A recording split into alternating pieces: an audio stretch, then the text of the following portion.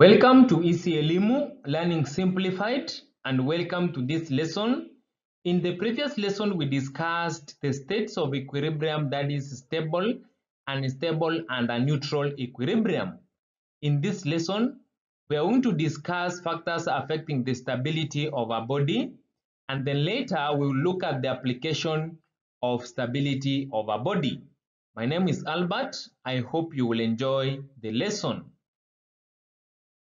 By the end of this lesson, I expect you to be able to describe the factors affecting stability of a body, then finally describe at least five application of stability.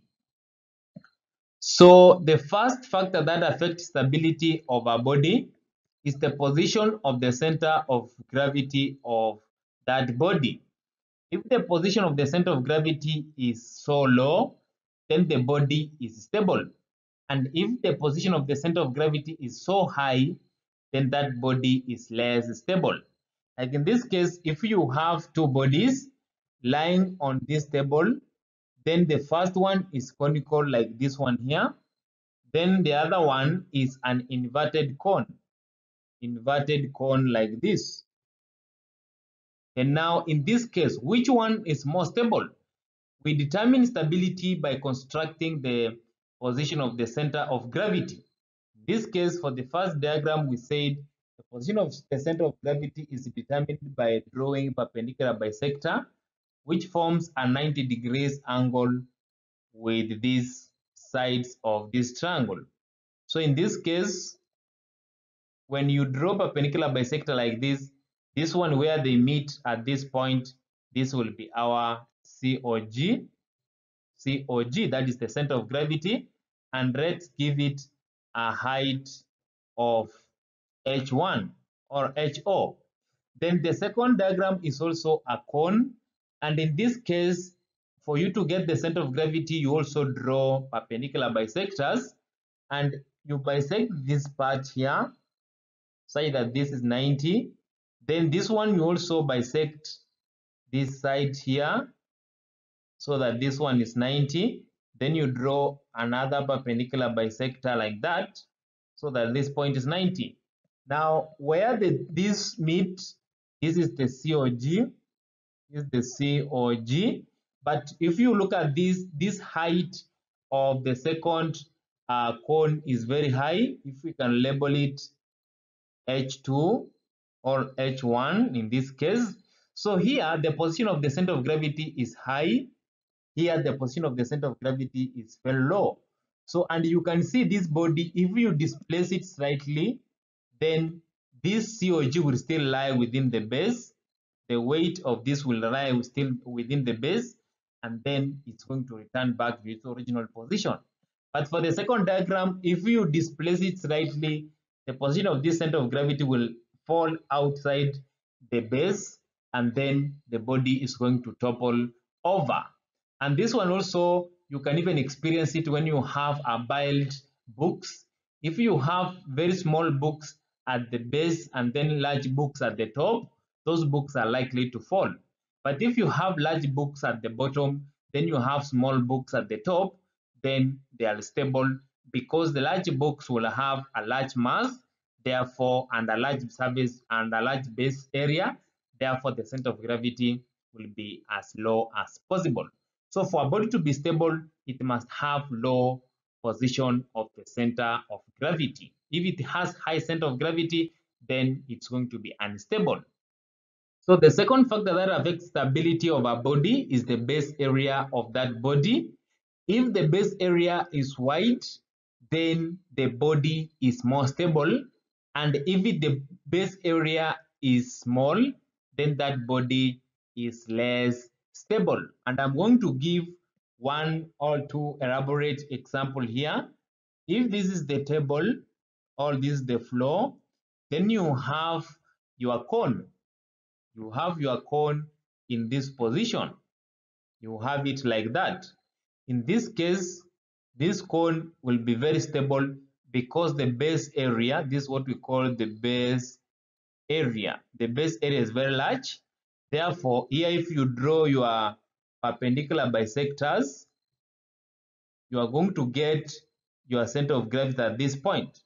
And if you try to displace these cones slightly like this, it's going to, to tilt slightly with its position of center of gravity maintained within the base.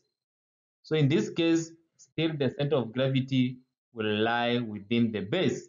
Here it was lying here, the weight of this body was lying there, and here after um, displacing it slightly, still the weight will lie within this base here. So in this case, when the base area is wide, a body is more stable. Now let's look at the second scenario where we have uh, a very small base area. And in this case, if this is your floor, then you have your cone. But in this case, it's inverted. If you have an inverted cone like this one here, then now if you draw your perpendicular bisectors, this case, they are going to form a center of gravity which is raised at that point there, which is here. This is our COG. And in this position, the center of gravity or the weight of this body is lying within this base. But what you can see, this base is very small. And now, if you displace this cone slightly, if you displace it slightly, what you will realize when it gets displaced like this, the position of the center of gravity with your bisectors on the same position. So in this case, the position of the center of gravity will lie outside. Outside the base is here, it will lie outside the base.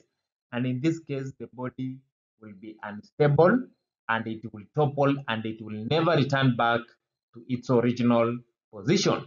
So in short here, the larger the base area, the more stable the body is, and the less the, the, the base area, then the less the stable the body is.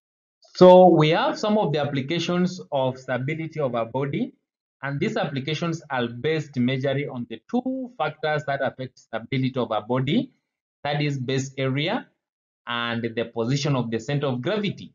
Like in this case, the first case we have is containers for liquids, especially in the laboratory, we have conical flasks. These conical flasks are conical in shape, and then they have a very wide base area. They have a very wide base area in such a way that their center of gravity is as low as possible. And if you displace them slightly, the the, the weight of this body will still be maintained within the base of this conical flask. Another one is racing cars, like those of Formula One. They have a very wide wheels and very low body, and that one maintains them to have the lowest center of, of gravity and a very wide base, and in that case, stability is enhanced. The third application of stability is bus cargo placement. And what we are going to realize is that buses carry cargo below passenger levels to maintain a low COG. Remember, low COG is maintained by having more mass below or at the bottom and then less mass at the top. In that case, COG will be lowered and that prevents these buses from toppling over. Students are also encouraged to be in seated position when they are traveling using bus because if they stand, they are going to raise the COG of the bus and it's likely to topple over. Another application is hydrometer. An hydrometer is an instrument used to measure the density of liquids, the relative density of liquids like milk and other liquids. So it has a very wide base and that base is also is very heavy because it's filled with beads and in that process it is made heavy at the base so that it can be more stable and it can stand upright inside the liquids in which it's measuring its relative density so what we are going to realize uh, we're going to learn this in form 4 an hydrometer looks like this it has a very thin bulb and then at the base it has a very wide base filled with beads. So if you put it inside a container carrying some liquid, it's going to be in upright position courtesy of its wide base, wide base and heavy. Heavy base, it has beads which make it heavy. So in the process, it can measure relative density with the bulb outside that liquid. So the fifth application is in the Bunsen burner and the designs of Bunsen burners. What we are going to realize, a Bunsen burner has a very thin uh, chimney like that. Then it has a air hole there, and then below here it has a very wide base. This wide and heavy base ensure that the center of gravity of this Bunsen burner will lie at this point down here.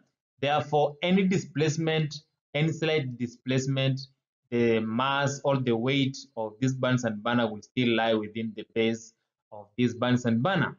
So in that way, the stability of a Bunsen burner is maintained. Then the sixth one is carrying a basket of water. What you will realize is that when you are carrying a basket of water using one hand, you will instinctively lean your body towards the other end where you don't have the water. The reason why you do that is to adjust your body so that the COG is as low as possible so that you maintain stability. So in this case, you are not going to lower your COG, you are only adjusting, you are adjusting your center of gravity so that you maintain a stable movement. So another application is in the furniture design. And what we are going to realize, furnitures like chairs, stools, and tables, even the tripod stand that we use in the laboratory, they have more than three legs and those legs are spread over. Like if you have a stool like this one here, it has more than three legs, like that is the first one. This the second one, then the, we have the third one here, even the fourth one. And these legs now are covering a very wide area in such a way that if you displace it slightly, the weight of this stool will still fall within the base of this stool. And in that case, stability will be maintained. So that marks the end of our lesson today and the end of our topic equilibrium and the center of gravity. In the next lesson, we will be discussing a new topic that is reflection on curved surfaces.